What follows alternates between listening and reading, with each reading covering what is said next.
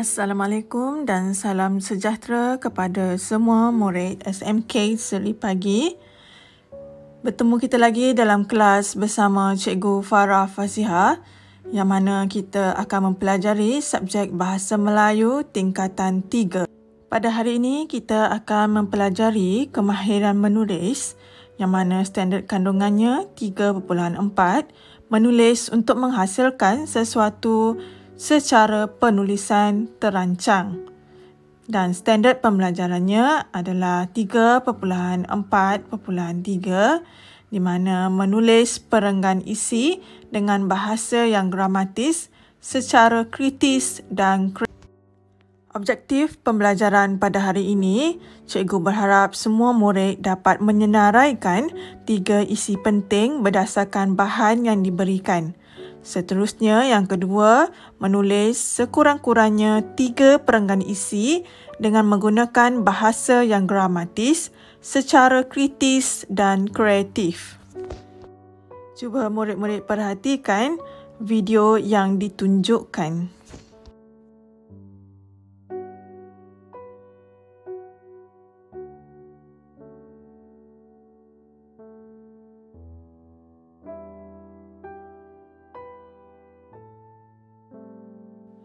Pada hari ini kita akan melihat karangan mewawancara di mana soalannya sekolah anda menjadi johan dalam pertandingan bola sepak. Guru anda meminta anda mewawancara ketua pasukan bola sepak sekolah anda. Dalam wawancara itu, anda bertanyakan usaha yang dilakukan sehingga berjaya mendapat kejuaraan tersebut.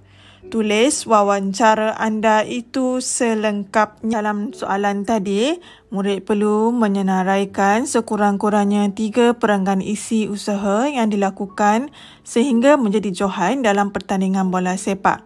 Yang mana murid boleh merujuk rangka isi karangan yang seterusnya untuk menulis perenggan isi yang lengkap dengan bahasa yang gramatis serta kritis dan kreatif.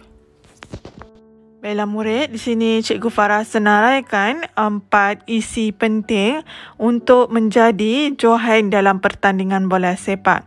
Yang pertama, jurulatih yang hebat. Kedua, pemilihan pemain yang teliti. Yang ketiga, latihan yang berterusan. Dan keempat, menyertai kita akan menjana idea kritis menggunakan teknik STEM yang mana STEM bermaksud siapa, tempat dan masa yang akan kita gunakan dalam menulis isi yang pertama iaitu jurulatih yang hebat. Bagi isi yang pertama, siapa yang terlibat maksudnya pasukan dan jurulatih. Tempat yang perlu ada dalam isi yang pertama seperti sekolah, negeri Perak serta di padang sekolah. Manakala masa merupakan kejayaan jurulatih pada masa yang lalu.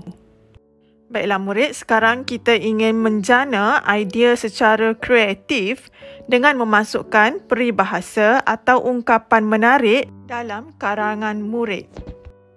Semasa menulis karangan, murid-murid perlu menerapkan yang pertama ayat topik.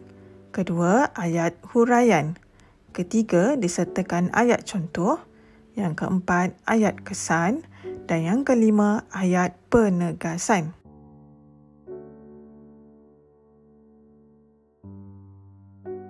Tugasan pertama yang perlu murid lakukan ialah menyelaraikan isi penting di dalam bentuk peta minda atau peta iting dalam buku karangan.